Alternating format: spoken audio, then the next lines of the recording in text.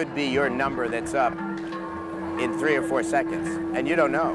You might not come home that night, so it's it's a big decision.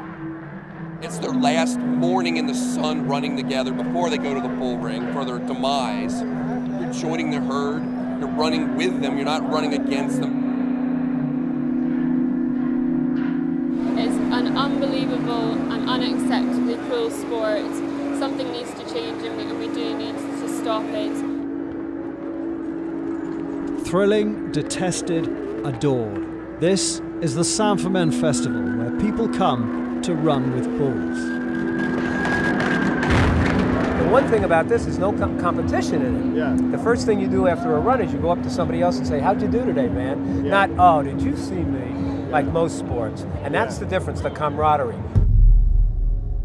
Ernest Hemingway described it as an explosion.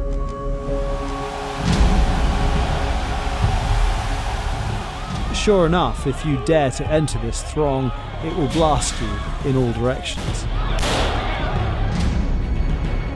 I am absolutely myself.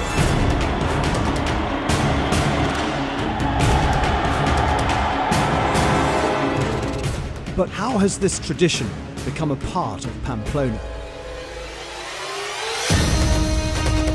And in the face of modern day critics, can it survive? Enter the blood red, sangria soaked festival of Pamplona.